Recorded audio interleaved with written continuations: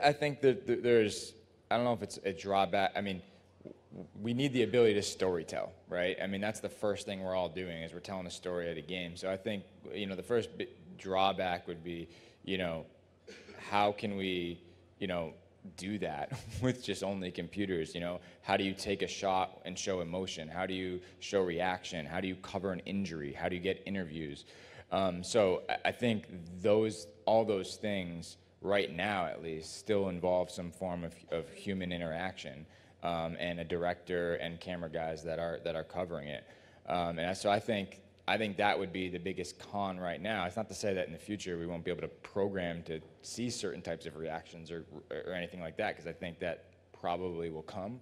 Um, but right now, I think that you, that you lose a little bit of that ability to show emotion.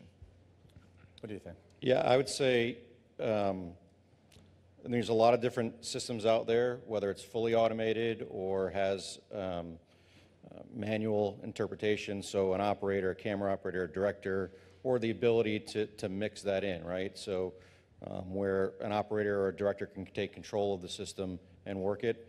Um, I think there's a lot of learning that still needs to be done with AI and those systems, and it's all based on the program. So, you know, a lot of systems might be were initially built for soccer, but I have to go and do a soccer, a baseball, a softball, tennis, a volleyball, a swimming match. I have to go and do all these different sporting events, and the system isn't capable of doing that, at least on the learning side of the AI system.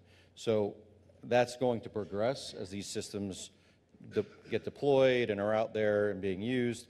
But those, are, those I think, are the biggest challenges there, is the system has to be able to do different sport every day.